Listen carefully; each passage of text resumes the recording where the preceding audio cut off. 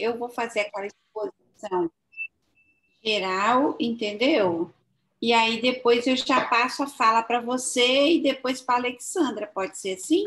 Pode, pode sim. E aí a gente, ao final, a gente abre para questões, quem quiser fazer alguma consideração, né? Uhum, tá ótimo.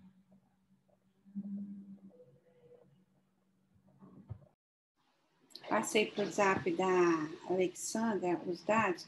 Eu acho que eu vou entrar aqui também no meu celular, porque uhum. quando a gente começa a apresentar, eu não enxergo mais nada.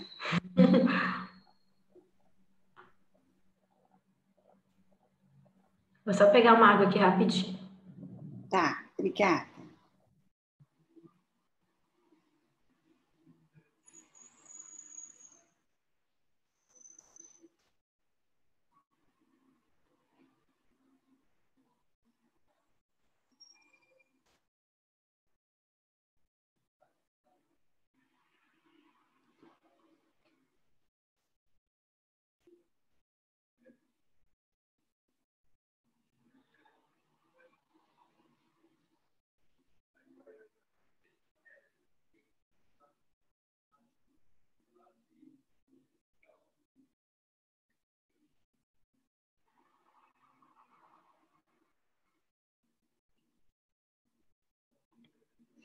Aí, Anderson, eu vou deixar o meu celular ligado e o computador, tá?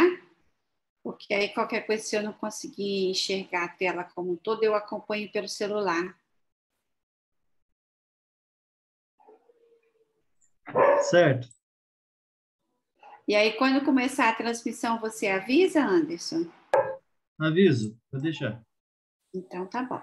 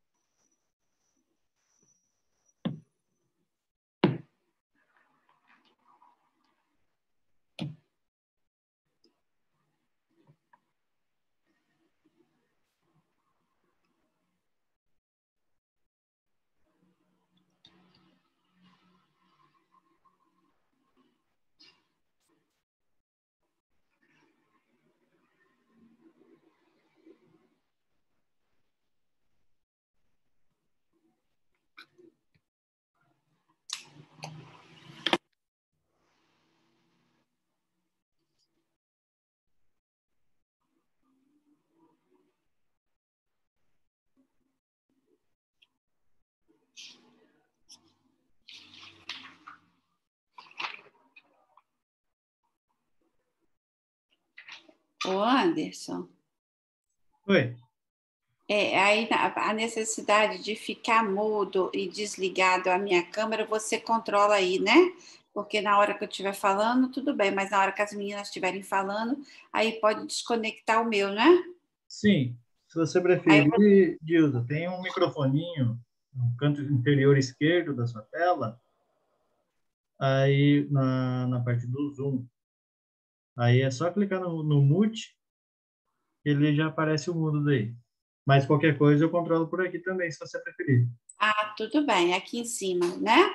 Eu posso, eu posso desconectar. Vou, vou desconectar aqui.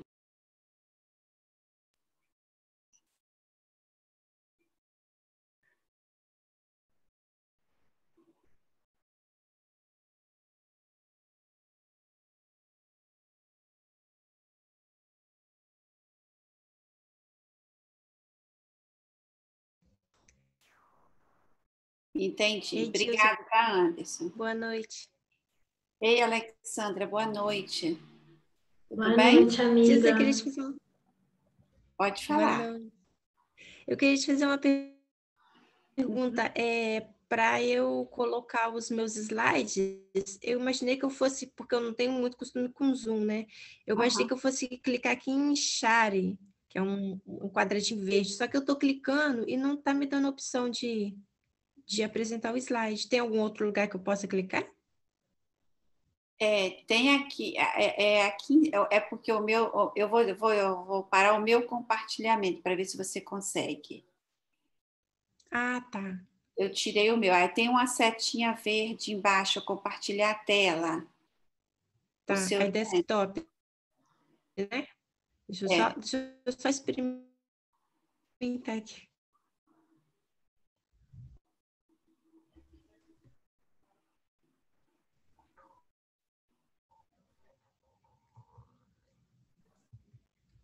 Compartilhar. Jornada Y. Alessandra, Alexandra, se você quiser também, por acaso, quiser me enviar no, no Zap o seu, o seu arquivo para eu poder é, expor para você, fica à vontade, tá? Oi. Oi, estou te falando assim, se o- caso você queira que eu é, Apareceu? ainda não. Estou falando assim, Ainda caso vou enviar, porque eu tenho que me enviar para eu poder compartilhar para você, entendeu? Entendi. Eu vou enviar porque eu tenho medo de não conseguir. Eu vou cancelar Aham. aqui. Vou enviar.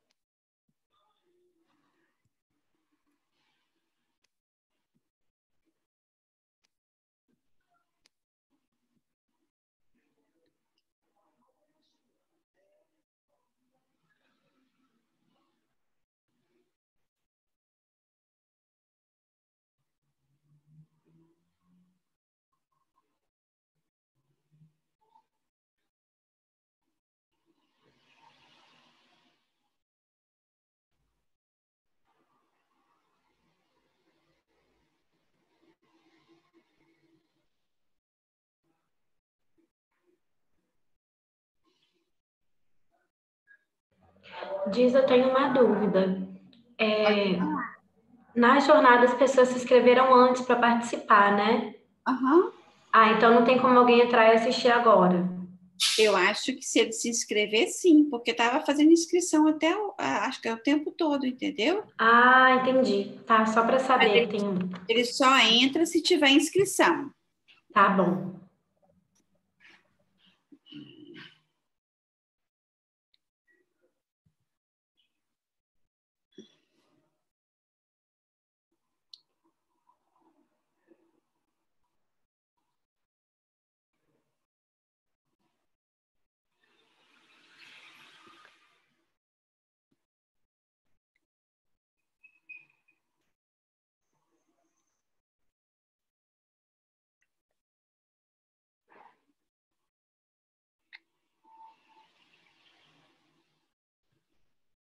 Ô, Anderson. Anderson.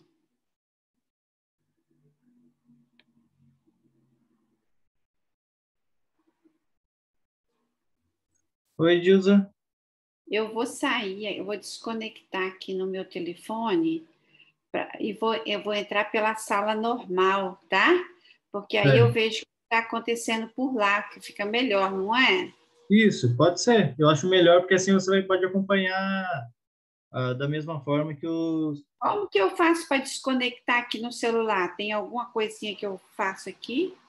No celular, bom, no computador tem no canto esquerdo escrito End, em vermelho. Acho que no celular deve ter algo parecido com do do notebook, do computador.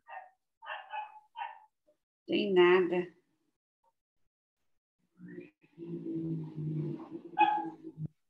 Não tem opção? Qualquer coisa eu tiro aqui. Quer que eu remova? Tira aí para mim. Ah, tem o sair aqui. Certo. Se você quiser, eu removo aqui por aqui. Não, mas consegui Ah, deu sair. certo. Saiu já. Tá. Vou entrar aqui, vou tentar entrar aqui pelo, pelo site geral. Tá, ok.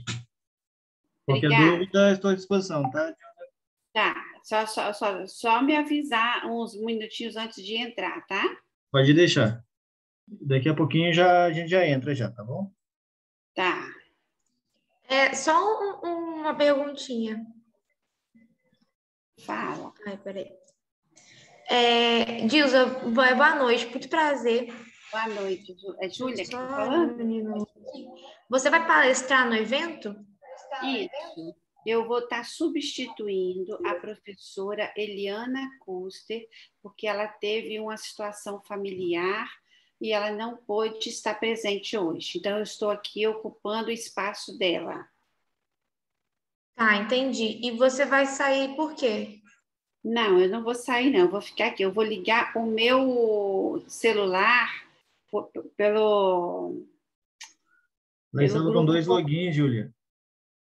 Ah, perfeito. Então tá aí já. Um computador e um celular, ela desligou o celular para acompanhar pela plataforma. Certinho, então.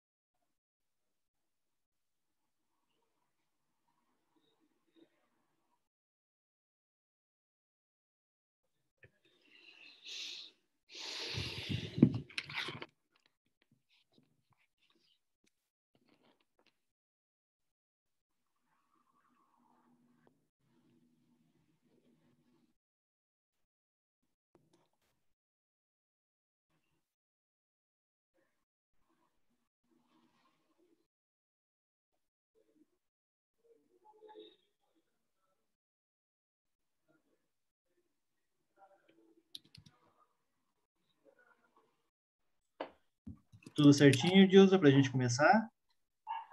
Sim, só um minutinho. Tá, ok. Assim que você me dá o ok. Tá, uh... deixa, deixa eu compartilhar logo os meus slides para ficar na tela, né? Certo. Dilza, é... assim que eu der o início, te falar que vai iniciar, vai aparecer uma mensagem escrito entendi ou got it, certo? Hum. Depende se o seu Zoom está em português ou inglês. E aí é só você tá. clicar em cima e a partir de então já estará ao vivo, tá bom? Beleza. Obrigada. Assim que você der o ok, eu libero daí, tá bom? Tá, vai ter alguma pessoa fazendo alguma abertura antes ou já vai começar comigo direto? Vai começar com você direto. Beleza. E vai ter vai... algum outro mediador ao final ou não? Não, não. Será somente você, eu mesmo. Isso, você e a Samira, né, que está junto com você. Samira e a Alexandra. Isso. Aí vocês fazem tanto a apresentação inicial quanto a, a despedida. A finalização. Isso. Tudo bem, então. Certo? Muito obrigada, Então, tá? Podemos começar? Podemos. Podemos, assim- meninas? Samira e Alexandra, ok? Podemos. Podemos. Certo. Obrigada. Só peço para os demais, enquanto não estiver apresentando, deixar o microfone desligado, tá? Para não dar interferência. E, Dilza, então eu vou liberar. Assim que aparecer a mensagem para você, entendi o Gorit, você clica e pode começar a falar que já estará ao vivo, tá bom? Beleza.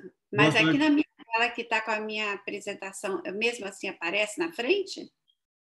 Aparecerá, porque não vai começar antes de você clicar. Se não aparecer, você me fala que eu já que a gente já vê daí o que está acontecendo, tá bom? Tá joia. Pessoal, qualquer coisa estou por aqui. Vou me silenciar agora para não atrapalhar o andamento de vocês. Boa sorte a todos, tá bom? E Tá bom. Obrigada. Tá joia.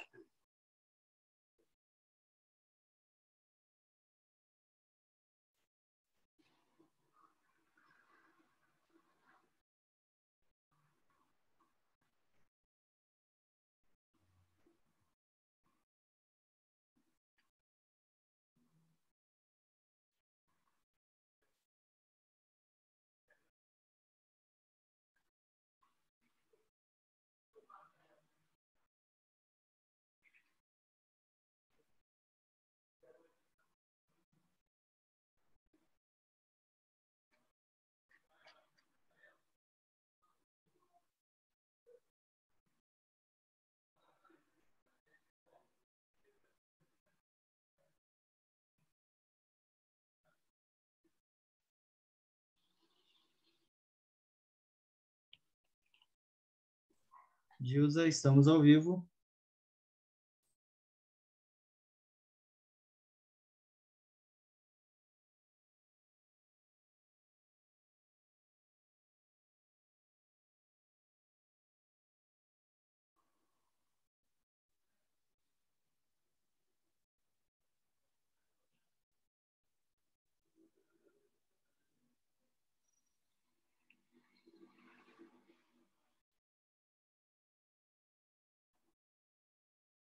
Anderson, não apresentou essa sua observação, não. Pode dar início, Gilza. Já estamos ao vivo, tá? Ok, obrigada. Então, boa noite a todos e todas. É, gostaríamos de iniciar o simpósio com a programação relativa ao Programa de Pós-Graduação em Ensino de Humanidades do Campus Vitória. É, antes de darmos início, eu que- quero agradecer ao Instituto Federal do Espírito Santo e à Pró-Reitoria de Pós-Graduação em Pesquisa por esse espaço e também pela realização do evento. É, o nosso programa, é, a exposição sobre o nosso programa hoje é, além de mim, Dilsa Coco, né, que estou na coordenação do programa, a gente também tem a participação de duas alunas egressas do nosso programa, a professora Samira de Souza Sanches e a professora Alexandra Loss Franzin. É, a estrutura da nossa exposição ela está organizada em três momentos. Né? Primeiro, a gente vai contextualizar é, algumas informações sobre o PPGEH.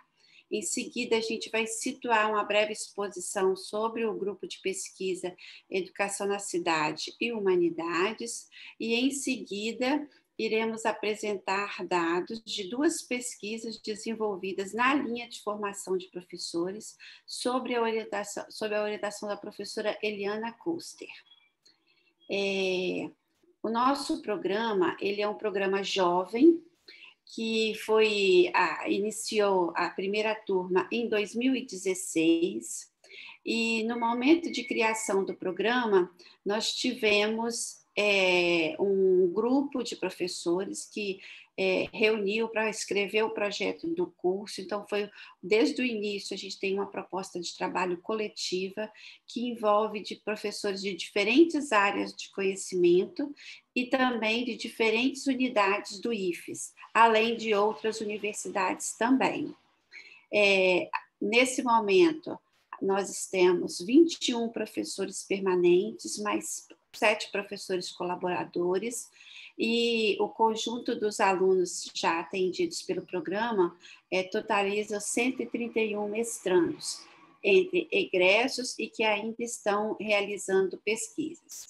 É importante marcar também que a proposta do programa de humanidades ele tem estreita vinculação com o programa é, mais experiente do IFES, que é o programa de Educação, Ciências e Matemática, o EduCimate. E o nosso programa, ele parte dessa experiência do EduCimate. Né? Então, na colaboração do professor Antônio Donizete, que fez a escrita do projeto, juntamente com a professora Priscila Xisté, e na parceria com o nosso saudoso professor Sidney Quezada, é, formularam e agregaram experiências já desenvolvidas no, no Instituto. É, o objetivo do nosso programa ele concentra esforços em formar profissionais é, ligados às diversas áreas do Colégio de Humanidades, né, como ciências humanas, ciências sociais aplicadas, linguísticas, letras e artes, comprometidos com o processo de emancipação humana a partir do ensino-aprendizagem. É, desse modo, é, visa contribuir com a melhoria da formação dos profissionais e, consequentemente, com a qualidade da educação básica nos seus diferentes níveis de ensino. É, o, as pesquisas desenvolvidas no programa é, têm duas grandes linhas, né? a linha de práticas educativas em ensino de humanidades e a, a linha de formação de professores em ensino de humanidades. Na, na linha de práticas, nós, do, no período de 2017 a 2020, nós tivemos 25 publicações, e na linha de formação, nesse mesmo período, nós tivemos 27 publicações. É, o nosso né, né, nessa última linha, na linha de formação, que é o objeto das nossas discussões aqui hoje, é, nós temos vários grupos de pesquisas e também com várias sublinhas, mas hoje nós escolhemos apenas um recorte desse conjunto de dados para poder dialogar aqui. É, nós vamos tratar de pesquisas vinculadas ao grupo de estudos e pesquisas de educação na cidade, humanidades, esse grupo também nasce junto com o mestrado de Humanidades. É, ele é coordenado pela professora Priscila Xisté, na companhia minha e da professora Sandra Della Fonte, da UFES, e da professora Eliana Custer, né? sendo que essas duas pesquisas de hoje vão ser é, especificamente dos trabalhos orientados pela professora Eliana. É, nesse grupo, a gente tem reuniões coletivas semanais para desenvolver uma diferentes ações. Né? E desse, desse período já de trabalho realizado, é, nós já publicamos dois livros que sintetizam um pouco dessa trajetória. Né?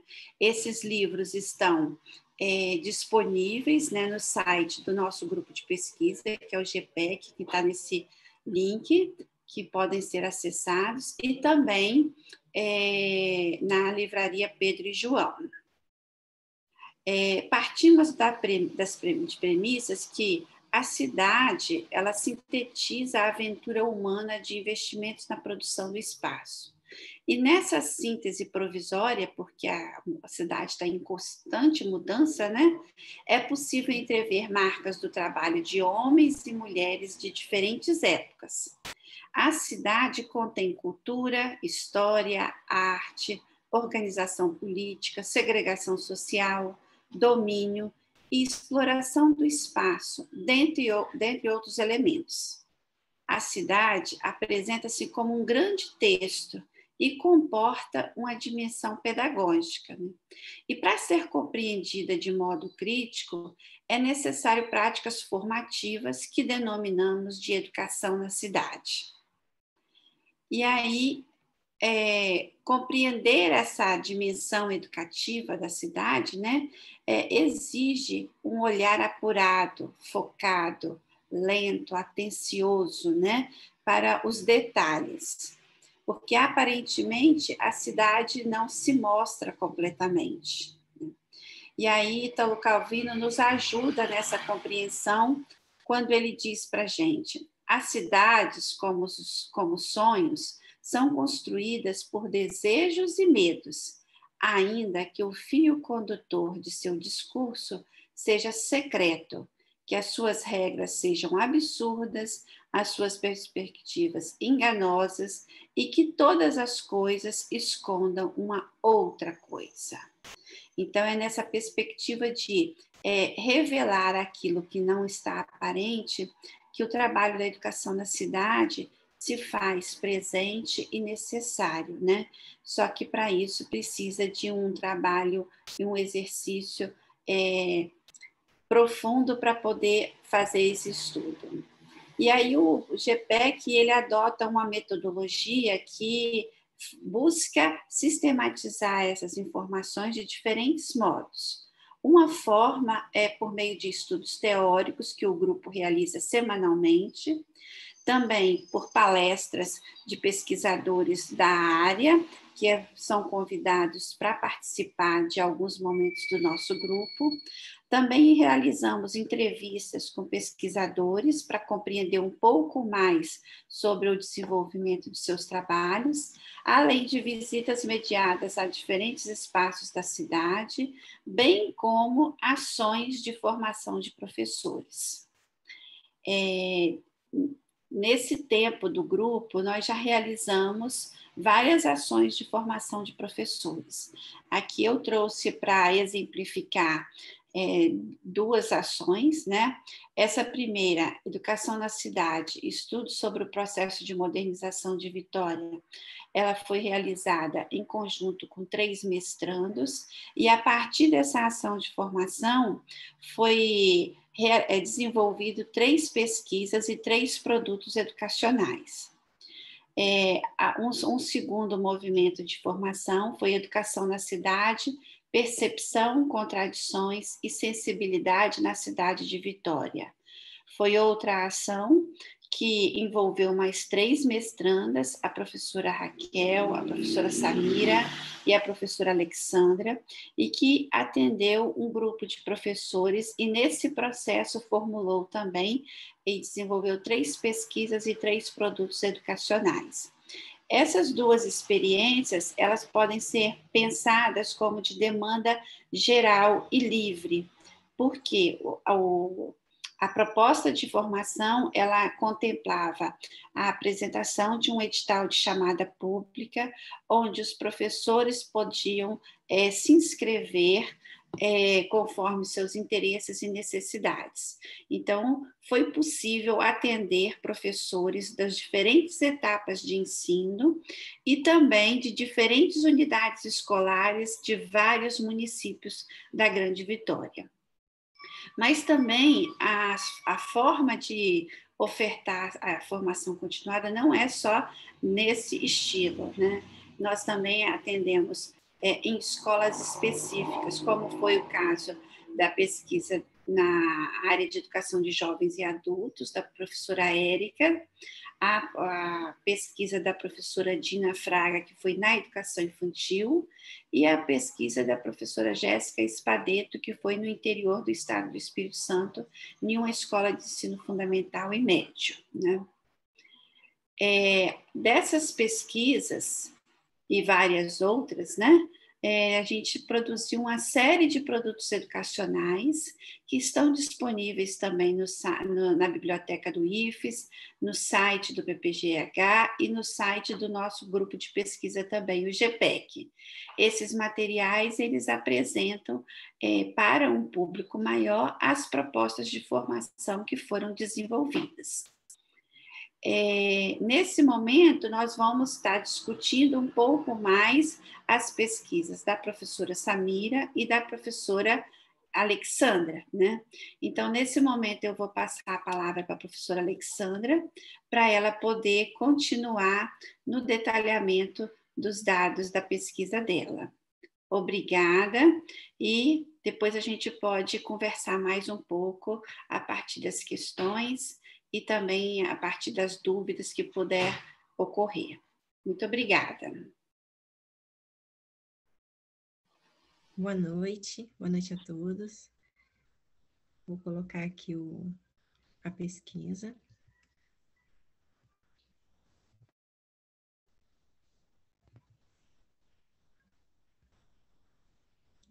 A partir desse momento eu não consigo mais visualizar, só mesmo a, o slide, né?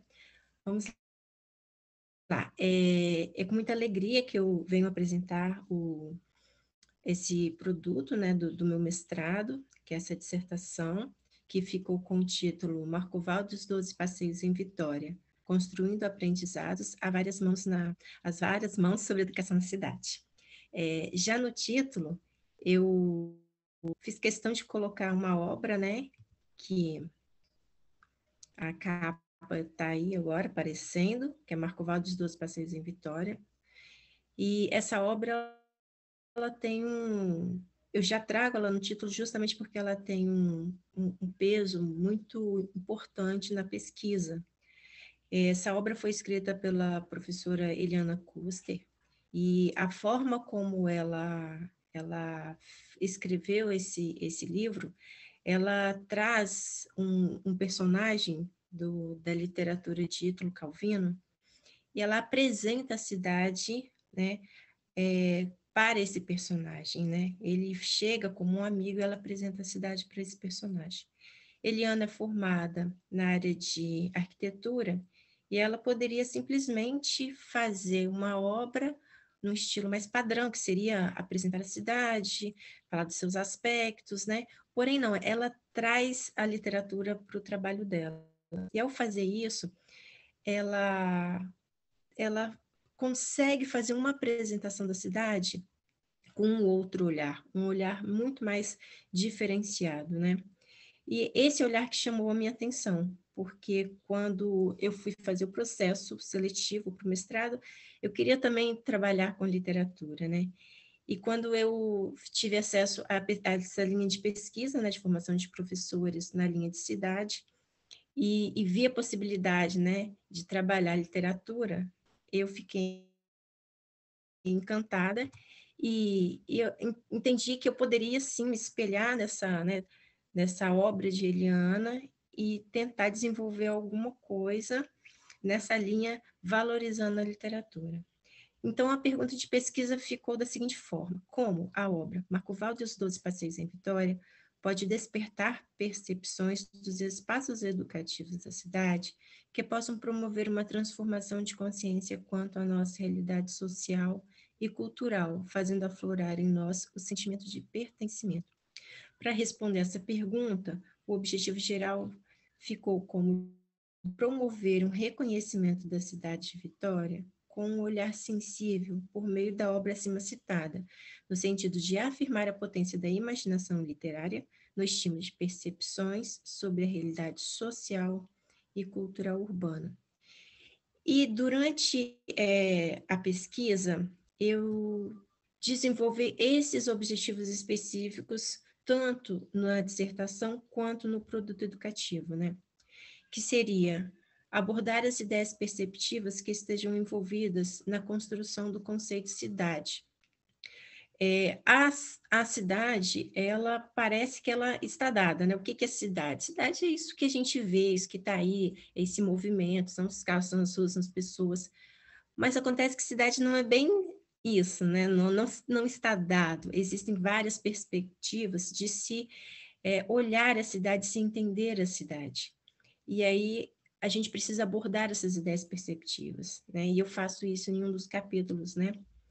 Outro objetivo seria estudar conceitos que envolvam relação entre cidade e literatura, na construção de ideias para possibilidade de diálogo e reflexão. Então, é tentar fazer alguma conversa entre cidade e literatura. É, apresentar a obra Marcovaldo e os Doze Passeios em Vitória, bem como a sua autora, caracterizando suas potencialidades no auxílio ao professor no processo de ensino-aprendizagem, de forma a despertar um olhar sensível e não fragmentado sobre a cidade Então, assim, é falar um pouquinho quem é Marcovaldo, por que Marcovaldo foi o escolhido, né? O que que Marcovaldo tem de diferencial para ser esse personagem que ela trouxe e apresentou à cidade, e que também na, na minha pesquisa ele também traz esse diferencial, que olhar Marcovaldo tem. É um olhar sensível, é um olhar não fragmentado sobre a cidade. Outro objetivo seria promover informação de professores a leitura, a reflexão e o diálogo a partir da obra Marco Valdo, Os Doze Passeios em Vitória, de forma a colaborar, repensar os espaços da URB, motivados por uma amplitude na percepção do olhar, dentro de uma perspectiva de um reconhecimento social e cultural com os professores de educação básica. Esse momento, é, nós somos da linha de formação de professores, né? Então, tem-se a necessidade né, de de estar com esses professores, pensar, conversar, fazer uma roda de conversa, né? E, e trabalhar esse olhar, né? Esse olhar para a cidade.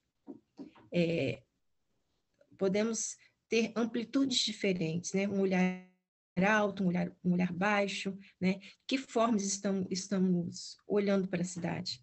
Será que estamos nesse olhar meio anestesiado de ser um morador, de ter aquela visão cotidianamente. Então, é trabalhar esse olhar numa roda de conversa com os professores e pensar como é, levar esse olhar, como estamos trabalhando esse olhar com os nossos alunos na educação básica. E, por último, o, por último objetivo seria produzir um material educativo que funcione como um professor de forma que o incentive a reconhecer aspectos citatinos por outros ângulos, de maneira que possa contribuir para que ele busque novas perspectivas de valorizar as percepções dos seus alunos no processo de ensino-aprendizagem. Esse material, né, é, esses, esses objetivos específicos estão expostos aí tanto no sumário da, da dissertação, é, o sumário da dissertação, ele contém uma introdução e quatro capítulos, que é cidade, cidade e literatura, percepção e curso de formação, que a gente vem conversar um pouquinho sobre esse curso que foi ofertado aos professores. E também ele está, ele está esses objetivos estão, estão presentes no produto educativo, que ficou com essa capa, né, com esse título, A Cidade Sempre Tem Algo a Nos Ensinar. Vamos lá. Agora, é, como eu disse, a cidade, nós podemos olhar a cidade por várias perspectivas, né? Mas a perspectiva que a pesquisa escolheu olhar foi a, pers a perspectiva do encontro, né? Na, nas interrelações entre as pessoas e das pessoas com esse espaço. Mas quando pensamos assim das pessoas com esse espaço, né? Que espaço é esse? Das pessoas com o lugar onde elas moram, que lugar é esse? Então eu eu peguei o conceito de de Tuan que ele, ele é mais da área de geografia, e aí ele trabalha com essa, com essa relação de espaço e lugar. E aí ele nos diz que espaço é mais abstrato do que lugar. O que começa como um espaço diferenciado transforma-se em lugar à medida que o conhecemos melhor e o dotamos de valor. Então, assim, entendendo que essas relações que nós temos com esse lugar onde nós moramos, né? Esse lugar, ele se transforma em um lugar a partir dos vínculos que criamos com esse lugar, né? Mas qual a qualidade dos vínculos que nós temos com o lugar? Né? Nós estamos construindo um, um, um vínculo, assim, é, de, de, dando valor a esse lugar onde nós estamos, onde nós moramos, né? E aí, pensando nisso, como, como mãe né, de aluno, também, que também sou, ano passado eu recebi uma PNP, né, porque estamos nesse período de pandemia, as PNPs estão aí.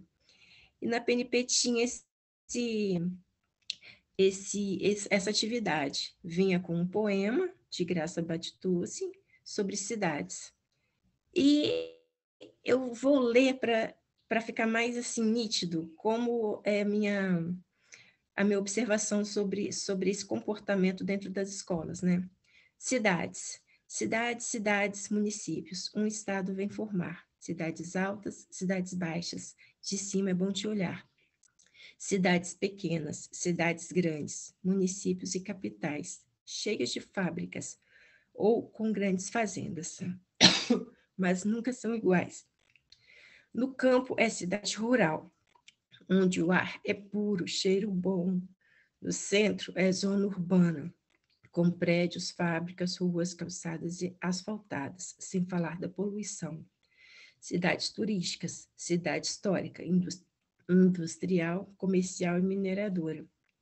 Todas elas bem diferentes, mas todas encantadoras. É o lindo texto que dele podemos partir para várias conversas, é, várias possibilidades. Mas, porém, a atividade que veio foi, primeiro, encontre e sublinhe no texto as palavras que estão no plural. Segundo, escreva em ordem alfabética as palavras no plural que você encontrou no texto. Então, assim, infelizmente, muitas vezes dentro da escola, o texto literário, ele perde a potência que ele tem, né? Ele poderia ser trabalhado muito mais, poderia ser muito mais dele, né? até com a com que Paulo Freire nos fala, né, sobre visão de mundo. Poderíamos trabalhar muito mais a visão de mundo a partir do texto literário. Infelizmente, não é isso que acontece. Não, não em 100% dos casos, né, mas em grande, grande quantidade. E aí eu desenvolvi dentro da, da minha pesquisa partindo da perspectiva do encontro, três capítulos: cidade, cidade, literatura e percepção. E esses três capítulos eles se conversam entre si. É, a cidade, né? Ela vem realçar o olhar que temos sobre a cidade, partindo de pequenas denominações como espaço e lugar, paisagem e imagem, ao retornar em seus conceitos básicos, pois muitas vezes acabamos por naturalizar estes termos e perdemos sua referência. Cidade e Literatura vem tentando resgatar um pouco essa forma de olhar para a cidade, né? É, eu trago dois, duas obras no, no capítulo de Cidade e Literatura. Uma é As Cidades Invisíveis, que também foi escrita pelo autor Ítalo Calvino, e a segunda é Marco Polo e as Cidades das Nuvens. Marco Polo e as Cidades das Nuvens já foi escrita não é, por um, um, um autor capixaba, e ele se inspira na, nesse livro das Cidades Invisíveis para poder escrever a obra dele. No livro das Cidades Invisíveis, nós temos um, um imperador da China que ele enviava seus súditos para as cidades para que no retorno ele esses súditos descrevessem as cidades do seu reino para que ele pudesse conhecer as, as suas cidades. Porém, é, esse esse súdito chamado Marco Polo, ele, ele, quando ele retornava, ele retornava e tentava é, passar para o, para o imperador um, uma forma diferente do que os outros súditos faziam normalmente. Ele tentava demonstrar a cidade por meio de objetos, por meio de movimentos do corpo. Ele tentava demonstrar a cidade não pelos, pela sua materialidade, mas sim pelo que ela representava é, entre as pessoas que lá viviam, né? E, e, e dessa forma, o rei é, entendia, compreendia suas cidades, cidades do seu reino, né? Para além das suas partes físicas e imóveis. É, e aí, na segunda obra, é, escrita por João César de Mello, que é Cidade das Nuvens, João César ele, ele pega Marco Polo, né, que, que é dessa, esse personagem do, do das Cidades Invisíveis, traz para a obra dele é, pra, pra, na busca de descobrir a Cidade das Nuvens. E aí, Marco Polo atravessa o oceano e chega na, na sua primeira, a sua primeira é, cidade, é a cidade de Vitória. Porém, na sua obra, ele descreve a cidade de Vitória, mas não é, ele não, não nomeia Vitória por cidade de Vitória, Espírito Santo. Ele descreve a cidade pelo que ele vê da cidade. E essa obra é muito interessante porque é, nós que somos capixabas, somos aqui, nós vamos é, reconhecer a cidade pelas palavras dele, mas ele não, não descreve em nenhum momento é, rua, é, o nome do, do, relevo, né, a montanha, não nomeia, ele só cita. Então, assim, é uma forma que ela quebra esse olhar nosso do cotidiano, esse olhar já meio anestesiado de olhar né, constantemente. Nós, nós, quando se faz a leitura, a impressão assim é a gente começa a observar o mesmo espaço que nós vemos todos os dias, mas de uma outra maneira. E, e isso é que eu achei muito interessante em trazer para a pesquisa, porque para a gente pensar esse olhar que nós temos sobre, é, sobre a cidade, né? Porque às vezes nosso olhar ele acaba se anestesiando e, e, e temos de perceber muita coisa. Então, o próximo capítulo já é essa percepção, já é trabalhar essa percepção né?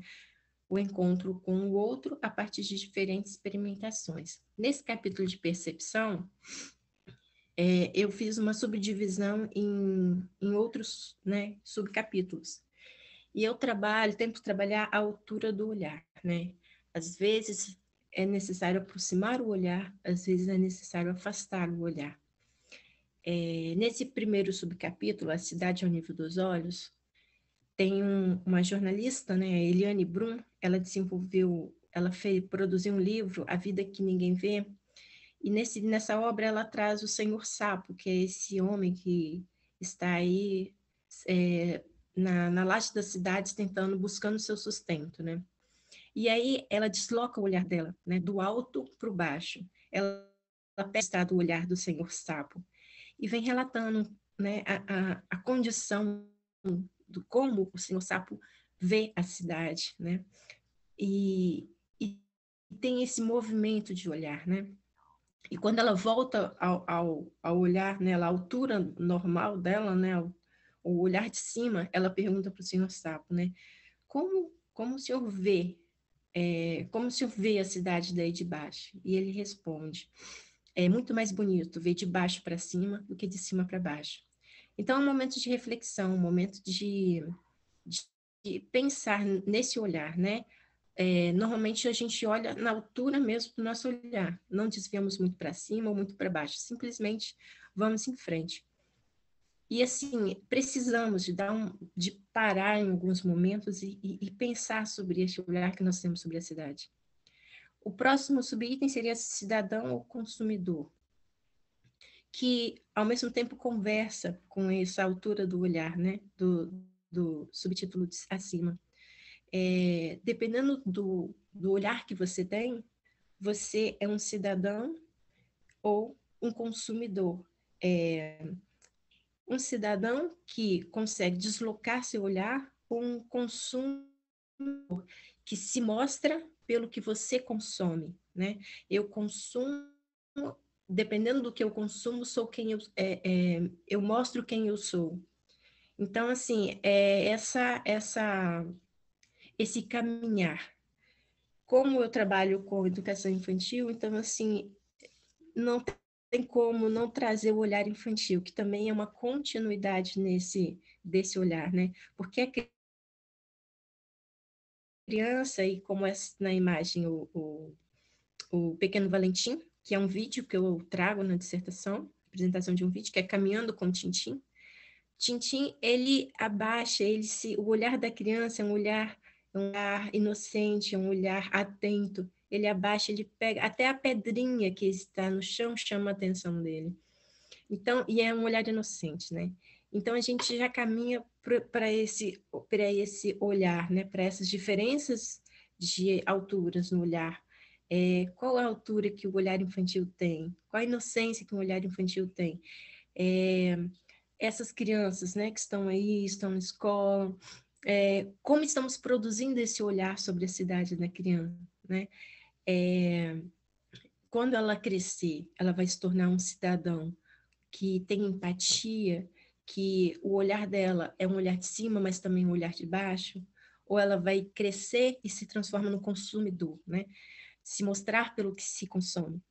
É, por último, outras formas de se perceber a cidade, entre a arte e as redes sociais. É, a arte ela tem essa capacidade de é, é, pegar o que, é, mostrar de uma maneira diferente o que o cotidiano não nos, não nos chama, não nos deixa chamar a atenção. É, na, na, no produto, do produto educativo, tem uma, uma passagem que o, o, o autor que, que também escreveu o livro é, Marco Polo e a Cidade dos Nuvens, o João César de Mello, ele também fez uma pintura é, de um guindaste que tem no Porto de Vitória. Aquele guindaste que constantemente nós olhamos e vemos ele lá e ele nem nos chama atenção, ele fez uma pintura daquele guindaste é, fazendo uma analogia ao, a uma, um pescoço de uma girafa. Então, é assim, ele parou, ele, né, ele parou para fazer essa analogia. Então, quer dizer, ele tirou do tempo dele para olhar, para ter um olhar diferente sobre o que vê, né? E, porém, nós, nós não temos esse hábito, né? Por isso que a arte ela vem nos ajudar a despertar esse olhar. Outra, outro fator é as redes sociais que estão aí na, na nossa vida, que desde criança até o adulto, até o idoso, as redes sociais estão aí divulgando é, trabalhos e, e aí a gente colocou uma parte no, no, trabalho da pesquisa também um pouquinho sobre essas redes sociais, como que as redes sociais podem ajudar a olhar, a, a ter esse olhar sobre a cidade. Ah, o, quarto capítulo do, do curso do, da dissertação é sobre o curso de formação. É, esse curso de formação também está ligado ao curso de extensão, É, é requisito do curso do mestrado profissional ter um produto educativo, e aí, como eu já mostrei a capa, a gente produziu um e-book. Esse, esse, essa formação de professores, né, ligada a esse curso de extensão, ele foi, foi muito importante as disciplinas obrigatórias que nós tivemos durante o mestrado, mas também a participação do grupo GPEC, que é o Grupo de Cidades e Humanidades, já apresentado pela professora Dilza, é, nós também tivemos, através do GPEC, nós passamos a, a, a, a utilizar da, das viagens formativas. No, durante o curso de formação nós utilizamos, nós fizemos duas viagens formativas. É, esse trabalho, esse curso de formação foi uma união, uma parceria entre mim é, Raquel e Samira, que vai falar daqui a pouquinho da pesquisa dela, e a coordenação foi feita por Eliana, Eliana Custer. É, esse é o convite para os professores para poderem participar do, do curso de, de formação com esse título, Educação na Cidade, Percepção, Contradições e Sensibilidade na Cidade de Vitória, que tentou unir as três pesquisas, a minha, a de Samira e a da professora Raquel. Esse é o ponto do programa. A, a quarta aula foi a aula referente à minha pesquisa, né, que marcou vários dos passeios em Vitória. A quinta aula foi a viagem informativa, onde nós passeamos pela Cidade Alta e o mercado da Vila Rubim. Esse é o sumário do material educativo, que, como eu disse no início, ele passeia também, né, os objetivos específicos estão passeando aqui pelo sumário do produto educativo, que eu venho conversando um pouquinho sobre espaço e lugar, é, literatura e cidade, prática pedagógica, passeios e reflexões, alguns possíveis passeios e reflexões pela cidade dentro né, dessa busca desse olhar, não fragmentado. E no capítulo 5 eu trago um cardápio de obras, né? Um, obras que são de autores capixabas. Acho importante colocar porque muitas vezes é, alguns autores eles estão até, até mesmo desconhecidos por nós mesmos capixabas. E são obras excelentes que dá para ser trabalhado inclusive em sala de aula. E Assim eu finalizo a apresentação do trabalho e passo a vez à professora Dilza ou professora Samira.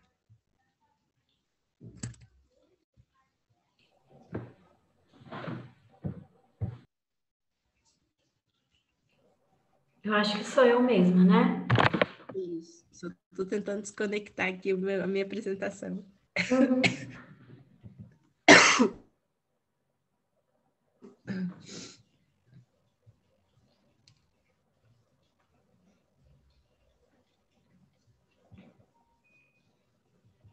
Aqui está aparecendo a opção de. Ah, tá. Tá. Eu tentei, eu tentei compartilhar, mas fala que já tem outra pessoa. Ah, agora foi. Vai lá, Samira. Bom, é, a Alexandra, ela fez, falou algumas coisas, professora Dilza também, que estão na minha apresentação. Então, eu vou tentar ser sintética é, em relação a essas coisas que já foram faladas. É, primeiro, eu quero agradecer pelo convite, né, ao PPGH, ao GPEC, a professora Dilza. É, embora a gente esteja um pouco nessa rebarba, né, do, do, do da pós-defesa, agora já passou isso, é, eu sinto que é sempre bom voltar a esse processo, a, a lembrar isso, até para me motivar a estudar, enfim, a voltar a essa, a essa dedicação. É, a minha pesquisa, ela foi realizada também dentro do contexto do GPEC, né, dentro do, do é, da, da linha de formação de professores, e o título dela é Percepção da Cidade e o Potencial Educativo do Mercado Popular da Vila Rubim, em Vitória. Eu fui orientada pela professora Eliana Custer, e, e por todo o meu trabalho, né, além da participação dos professores do PPGH, eu tenho muito a agradecer ao GPEC pelos estudos e pela leitura e por toda todo o processo mesmo de escrita, né? Bom, é, bom, a minha pesquisa, ela surge porque eu sou professora aqui do estado, né? Esse ano eu vou fazer 11 anos de sala de aula e eu, eu, eu gostava muito, sempre gostei na universidade, eu sempre pesquisei cidade. Só que uma das coisas que me inquietava é que é, eu tratava muito dos processos é, econômicos que, que se imprimem no espaço, as relações, as contradições, é, na concretude das relações sociais e políticas. Só que os meus alunos, mesmo compreendendo isso, né, quando eles compreendiam e tal, eles compreendiam de uma forma melhor a partir da relação que eles tinham com o espaço, que eles tinham com a cidade e com a percepção e interação que eles tinham, né, principalmente com o entorno da escola. Então, eu percebi que aí na relação de pertencimento, aí no processo de percepção, existia aí uma pista de como desvendar os espaços da cidade e as relações que produzem o espaço é, com grande potencial dialógico. Então, por isso, é, eu pensei no processo de percepção, eu entrei inicialmente no programa é, através das práticas educativas e fui para a formação de professores, e, mas mesmo assim eu segui essa linha né, até o final sobre como que a percepção do espaço ela pode contribuir no processo de ensino. Né? E para mim ter é, feito um pouco da, da, leitura sobre o potencial educativo dos espaços da cidade me ajudou muito a compreender que todo espaço da cidade tem potencial educativo, né? Tem um artigo da professora Priscila Xistê com o professor Donizete, e foi muito importante ler esse artigo e incorporar né, essa ideia aos meus estudos. Então, a ideia inicial da pesquisa seria desvendar os espaços da cidade através da percepção como instrumento.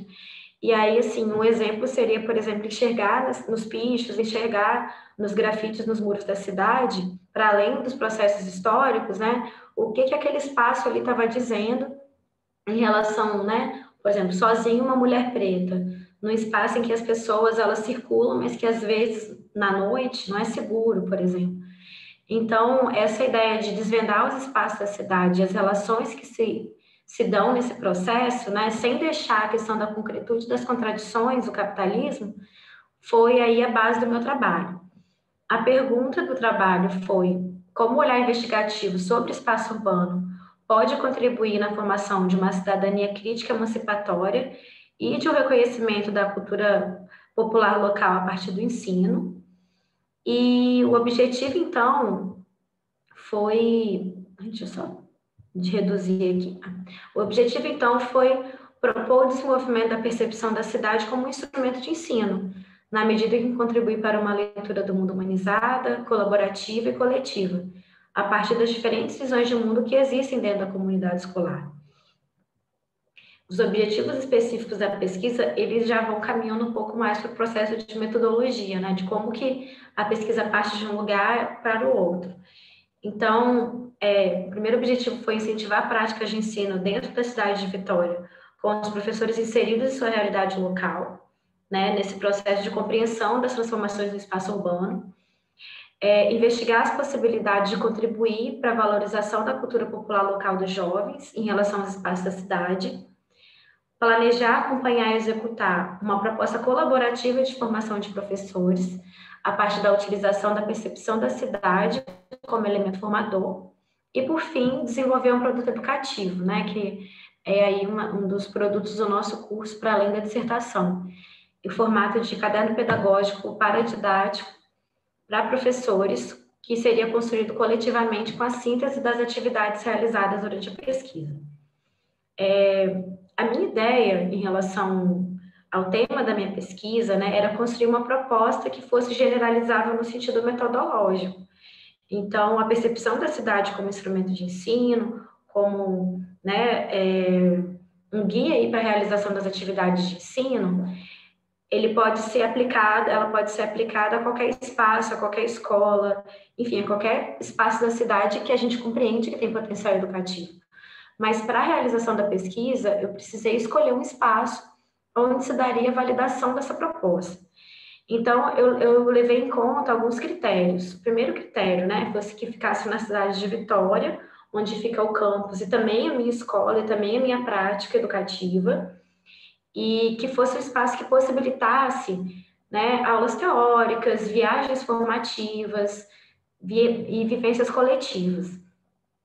É, outro critério foi um, local em que fosse possível é, incentivar a valorização do potencial educativo daquele espaço da cidade.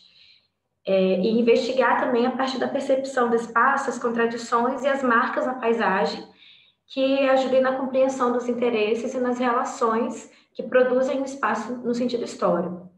Então, a Vila Rubim, ela, eu já tinha uma identificação pessoal com esse espaço, acho que todo mundo aí que, que mora em Vitória é, que tem família em Vitória tem alguma relação com a Vila Rubim. E, para além dessas, desses critérios, né, a relação com o mar, as raízes históricas da formação da própria cidade de Vitória, as transformações do papel da Vila Rubim na cidade, o seu processo de modernização e também de marginalização, né? Oi, Anderson. Pode falar, Anderson. Desculpa, a gente interromper aqui que ele me mandou uma mensagem.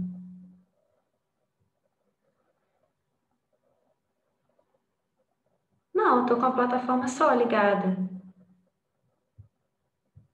Deixa eu ver aqui.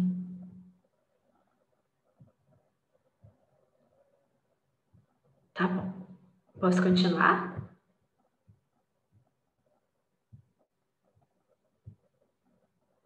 Ok. Bom, continuando, então essas, essas relações com a Vila Rubim, é, inclusive de pertencimento, né, que a gente trabalha aí o conceito de topofilia de Futuan, foi uma coisa muito relevante para decidir a escolha desse, desse loco de pesquisa. Bom, o sumário da minha pesquisa, né, a forma como eu organizei meu texto ficou da seguinte forma. É, eu tive algumas dúvidas e algumas modificações no processo.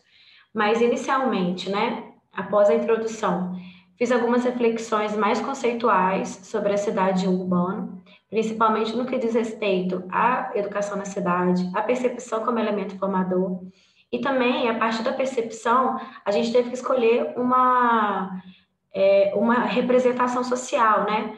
Para tratar sobre a percepção, escolher uma das formas de representação social. E nós escolhemos, né, eu e a Eliana, escolhemos o papel da mídia a imprensa na, na construção do imaginário popular sobre aquele espaço. É, no capítulo seguinte, a gente tratou já de questões um pouco mais históricas, né? A cidade de Vitória no processo de urbanização, para contextualizar as histórias da Vila Rubim. E, posteriormente, a gente tratou é, sobre o retrato midiático que se faz nos dias de hoje, então, foi aí uma análise de dados que a gente analisou cerca de 26 reportagens de um portal né, de, de notícias aqui do Espírito Santo, para falar sobre como a Vila Rubim é representada e as vozes que resistem dentro desse processo de marginalização e de contradição daquele espaço. É, o quarto capítulo foi sobre a atividade de ensino na formação de professores, é, em que a gente tratou a questão da, da coletividade na formação, as contribuições do GPEC no ensino sobre a cidade, principalmente, e a metodologia de ensino que seria tratada no curso. Né? Para além da metodologia da própria pesquisa, a metodologia de ensino e a estrutura de avaliação do curso, e, por fim, como seria feito a produção do material educativo. É, o último capítulo ele fala sobre o próprio curso, ele é um relato do curso que a gente dividiu. A gente teve a ideia de fazer um relato meio cinematográfico, então a gente dividiu os encontros em episódios, e o relato foi feito com essa, a partir dessa inspiração. Bom, é, a gente teve. Oi, Tilza. Tá. É, pelas minhas contas, eu tenho mais uns 15 minutinhos, né? Bom, é, o meu referencial teórico, ele teve três eixos, o eixo de cidade, de percepção e o eixo de ensino. Claro que eles se comunicam o tempo todo, né? Mas eu, eu, tive, eu, fiz, eu separei dessa forma para poder me compreender melhor no processo de pesquisa. Então, no eixo de cidade, eu é, li né, e tratei bastante dos conceitos de Marx, principalmente no processo de produção do espaço, Milton Santos e o Lefebvre. Eu acho que o Lefebvre foi aí o principal teórico que eu estudei na minha pesquisa, e boa parte dos conceitos sobre cidade urbana, sobre direito à cidade, o próprio conceito de ponto cego, estão na obra dele. O conceito de percepção, eu trabalhei bastante com o Ifutuan, tanto conceito de percepção do espaço, quanto o conceito de topofilia, que é, que é essa ideia de, né, de é, pertencimento ao espaço. É, o próprio Paulo Freire, né, que para a gente foi essencial nessa pesquisa com a ideia dialógica, de leitura e pronúncia do mundo, e já sobre as representações sociais é, em mídia, eu trabalhei com José Abeck Júnior e no imaginário popular com Castoria Dias. Já no ensino, a gente tratou sobre atividade de ensino em Leontiev, principalmente aquela que foi idealizada e realizada pelo GEPAP, né, que é o Grupo de Estudos e Pesquisa sobre a Atividade é, Pedagógica e Ensino lá do, da USP, e também com o processo de formação é, de professores do GPEC. Bom, é, essa parte aqui eu acho que eu meio que já falei, né, sobre o percurso metodológico da pesquisa, que foi composto por esse referencial e locus, a decisão sobre o locus, a seleção e análise de dados, e o próprio curso de formação, né, que caminha aí para o fim da pesquisa. Bom, eu vou passar essa parte mais rapidamente para falar que eu, o processo de pesquisa sobre a história da Vila Rubim né, ele tinha um objetivo não pontual histórico em si, mas um objetivo mais geográfico.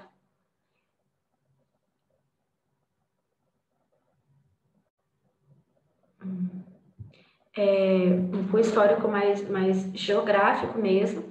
Então, para a geografia, a história, ela tem um objetivo, né? A história é um instrumento para a geografia para contextualizar.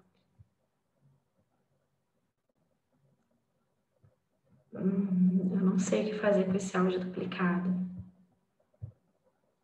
Porque eu estou só com uma plataforma aberta. Eu não sei se é o lugar que eu estou que tem um pouquinho de eco, mas acho que dá para continuar, né? Ai, meu Deus. Samira, não é o microfone não, fica tranquila. Ah, tá. Então, bom, vamos continuar. É, então, assim, esse processo da história, para a geografia, ele é mais utilizado como uma forma mesmo de entender a, a formação daquele espaço.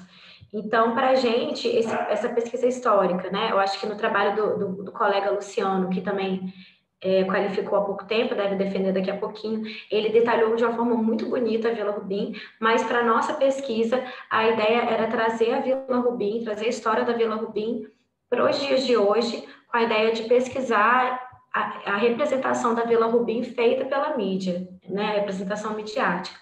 Então, foi feita uma análise temática de reportagem sobre a Vila Rubim, né, é, de um portal, né, do G1, foram analisadas 26 reportagens entre 2015 e 2019, e 85% dessas reportagens tratavam de problemas nessa região.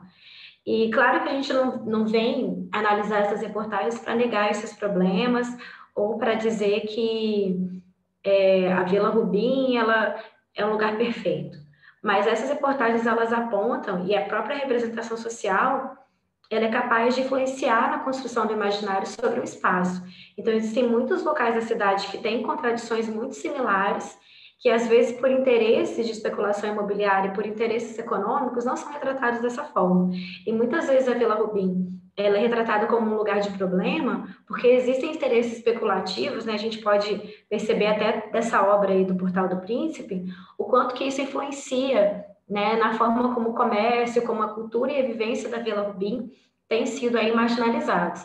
Então, uma das coisas que a gente percebeu é que existia uma contradição, uma dicotomia, né, entre a riqueza cultural e o potencial educativo desse espaço, que é inegável, e o processo de marginalização e desvalorização é, que a Vila Rubim sofre diante da mídia e também na realidade, né.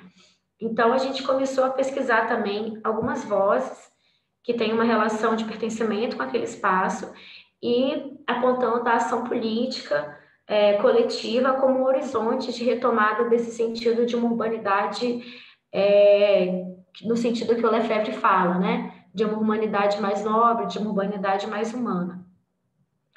É, é, essa parte aqui, sobre o próprio curso, né? A professora Dilsa, ela falou sobre a estratégia de formação dos professores de professores do GPEC, que foi a estratégia que a gente utilizou no nosso curso, e além da parceria da Alexandra, né, que tratava já sobre processo de percepção a partir da literatura, a gente teve a parceria da, da, da querida Raquel, que trata sobre música, né, os conflitos e contradições da cidade de Vitória em canções capixabas. Então, a gente elaborou esse curso que falava sobre percepção, contradições e sensibilidade na cidade de Vitória. Ele teve 80 horas de, de duração, né, e foi realizado na forma de um curso de extensão de formação continuada. E a gente tinha um público-alvo de professores da rede pública e posterior, posteriormente a gente ampliou para a rede privada também, após solicitações e tal, né? Mas a maior parte dos professores que participaram foram da rede pública. A professora Eliana coordenou o curso e a gente teve contribuições de várias professoras do GPEC, tanto na elaboração quanto presencialmente no próprio curso. Essa aqui foi a nossa aula inaugural, que dá até uma saudade, né? Porque a gente podia fazer as coisas presenciais de uma forma muito legal. A gente teve muita sorte de conseguir fazer isso antes da pandemia, porque além dessas aulas, né, em sala de aula, a gente teve também as viagens formativas, que foram muito importantes para que o nosso curso é, andar na cidade foi essencial, né? E eu sei que existem outras alternativas que a gente foi aprendendo a construir durante a pandemia, mas eu considero que a gente teve muita sorte em poder realizar as viagens formativas do jeito que a gente realizou. Então, a gente teve duas viagens formativas, né? A viagem que corresponde à minha pesquisa foi a primeira viagem formativa, em que a gente, como a Alexandra falou, a gente percorreu a cidade alta e descemos em direção à Vila Rubim, é, tratando de elementos históricos e também do presente, né, desse espaço da cidade, até, por exemplo, né, essa ocupação do edifício Santa Cecília, que hoje se encontra é, para ser requalificado como moradia popular, né, se encontra em obra, e foi basicamente isso, né, a nossa, o nosso curso, a nossa viagem formativa. Os, os produtos educativos, eles foram validados no próprio curso de formação durante um dos episódios. É, o meu produto ele foi proposto na forma de um protótipo, assim como o das meninas também.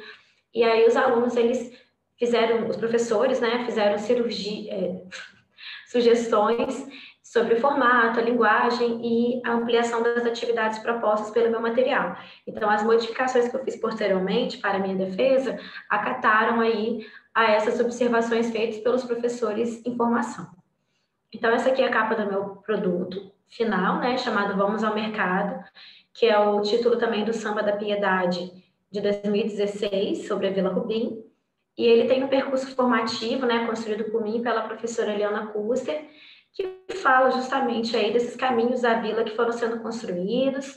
É, é feita uma saudação aos professores, mas a linguagem ela também foi adequada para que os professores pudessem utilizar esse produto na sua prática educativa. Né? A gente tem alguns conceitos, como essa citação aqui que eu já mencionei, da professora é, Priscila e do professor Donizete.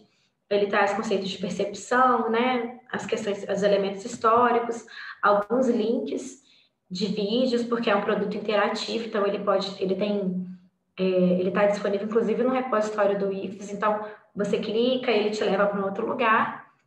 As análises de reportagem que a gente já fez, a influência da mídia né, no imaginário sobre a cidade, a resistência dessas vozes que têm relação de pertencimento com a Vila Rubim e algumas propostas de atividades, né, como, por exemplo, uma proposta de viagem informativa, uma proposta de atividade musical, né, que, que a Raquel trouxe muito para o nosso, nosso trabalho isso, então, eu proponho trabalhar com samba da Piedade sobre a Vila Rubim e uma atividade music... É, e uma atividade de confecção de jornal mural para que os alunos pudessem pronunciar a sua própria realidade a partir dos estudos sobre esse espaço e qualquer outro espaço possível.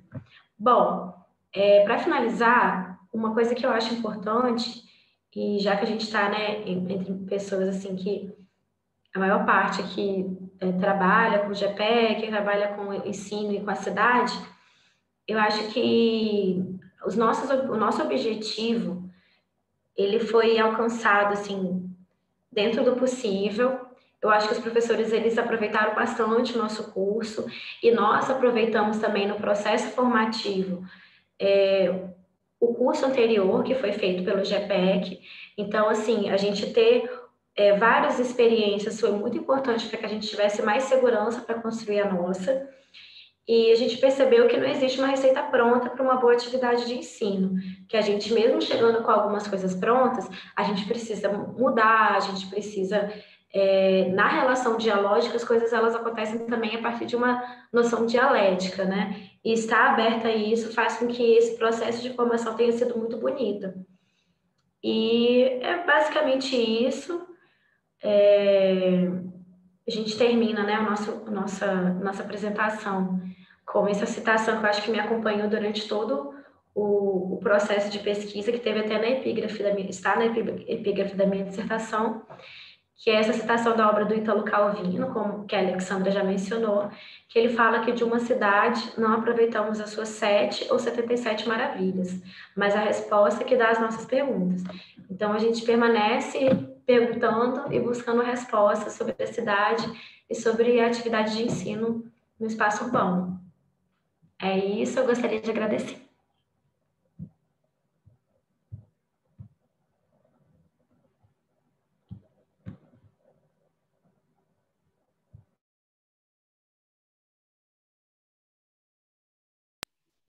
Obrigada, Samira. Obrigada, Alexandra. E aí eu acho que a gente se coloca à disposição, né? Para se tiver alguma questão, alguma pergunta pra, sobre as Obrigada, pesquisas. Samira. Obrigada, Alexandra. E aí eu acho que a gente se coloca à disposição, né? Para se tiver alguma questão, alguma pergunta pra, sobre as pesquisas. Obrigada, Samira. Obrigada, Alexandra. E aí eu acho que a gente estão ouvindo algum retorno, ou Samira? Se tiver alguma questão, tá. alguma. Então, não sei qual é a questão, porque eu acho que eu vou ter que sair. O seu áudio também está duplicado, professora. Eu, eu tá repetindo a sua primeira frase. Eu vou sair e vou entrar novamente, tá bom? Mas eu acho que é um problema que também aconteceu comigo. Também está duplicado. Será que é da transmissão? Está repetindo a sua eu primeira sei. frase. Eu vou sair e vou entrar novamente para ver se funciona, tá? Mas eu acho que é um problema que também aconteceu comigo.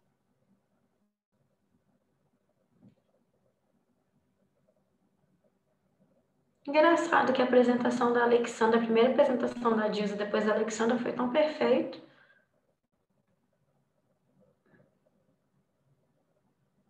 Será que é o eco do nosso microfone? Eu tô de fone.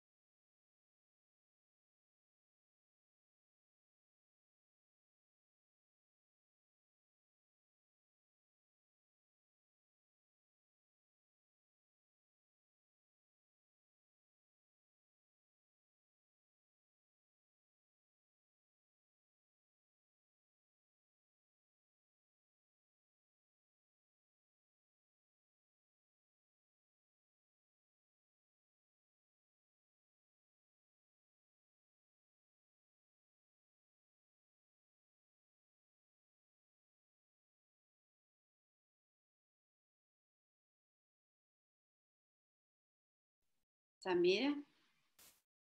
Melhorou? Melhorou. Será que eu devia ter saído também? Eu não sabia que estava tão ruim. talvez era no meu, o problema era no meu computador, né? Mas vamos lá. Então, eu acho que agora é o momento, se tiver alguma questão, alguma pergunta, para a gente poder é, continuar a conversa, né? E fazer os esclarecimentos necessários.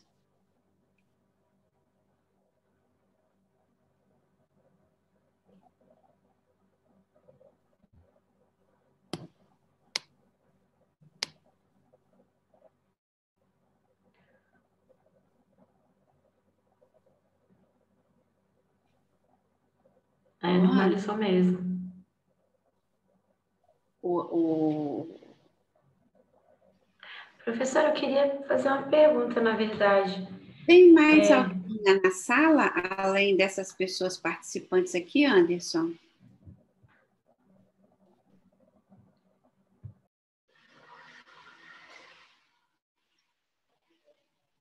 Será que o Anderson caiu também?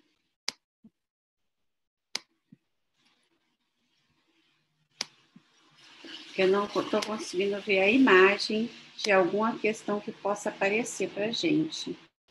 Eu acho que, considerando que a gente já fez a exposição, e se não tiver nenhuma questão para no bate-papo, para a gente poder é, interagir, né? Certo. o Anderson falou que eles interagem pelo WhatsApp.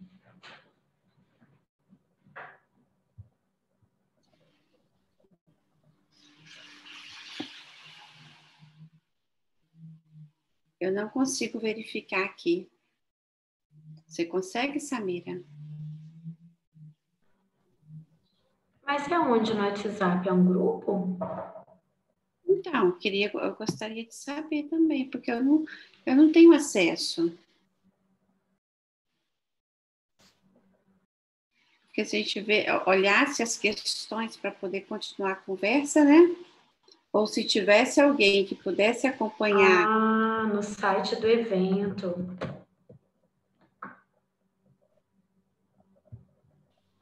Verifica aí, Camila, se você consegue. Eu vou tentar abrir aqui.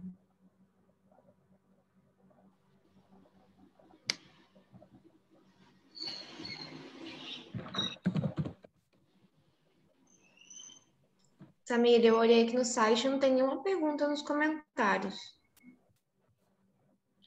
Obrigada, Júlia. Então, se não tiver nenhuma questão, nenhum esclarecimento a fazer, eu, a gente agradece né, a participação de todos os presentes é, informar que o site do programa ele tem disponível todas as pesquisas e os produtos educacionais né, que já foram produzidos. É, os produtos, eles sempre um, apresentam uma proposta para a área de ensino, que é o, a vinculação do nosso programa, né? Nesse momento, nós estamos com o processo seletivo em desenvolvimento para o próximo ano, né? E estamos à disposição de todas as pessoas interessadas, acompanhar os informes do programa no site e também, se quiserem fazer alguma questão, enviar alguma é, pergunta para o nosso site, do nosso programa, né? É, diretamente para a gente, também a gente está à disposição. A gente agradece, boa noite para todo mundo e muito obrigada. Boa noite, professora. Muito obrigada e muito obrigada também a quem está nos assistindo. E é isso, estamos à disposição, né, Alexandra? Isso aí, foi um prazer falar sobre. Uhum. Acho que é isso. Tá bom. Certo, pessoal, nós estamos mais ao vivo, tá bom? Terminou, Anderson, a, a, a, Sim, a transmissão? sim. Isso fica gravado, Anderson? Onde que a gente pode localizar a gravação? Ficará na plataforma da, da Congresso, e daí, tá bom? Ah, tá. Mas aí a gente não consegue acessar, não. Até para ver a- a- algum comentário, alguma questão que apareceu lá. Sim, pelo site do evento daí que apareceu, da plataforma, já estará disponível daí para vocês. E aí vocês conseguem acompanhar comentários e tudo mais. Então, tá bom. Te agradece, tá, Anderson e Júlia também, né? Amanhã nós temos outro momento, né, com o professor Jamerson. É isso, muito obrigada, gente. Boa noite. Tá? Depois a gente tem que marcar. Meninas, foi um prazer. Precisamos. Boa noite, gente. Foi um prazer Saudade. de vocês. Foi ótima Obrigada, apresentação. Caso parabéns. queiram assistir lá no site também, vocês têm login. Obrigada. Tchau, tchau. Depois tem que marcar a Sandra Samira para a gente fazer um momento com vocês, assim. Depois de tanto tempo, a gente Ai, tô com muita saudade. E agora dá para ser presencial, assim, de um jeito mais. Mais alternativo, mas Aham. está começando a voltar. O ano que vem, com É. certeza, a gente consegue fazer alguma Uhum. coisa mais próxima, né? Ai, que bom. A turma já Tá bom, meninas, muito obrigada. Valeu. Obrigada a turma para poder voltar e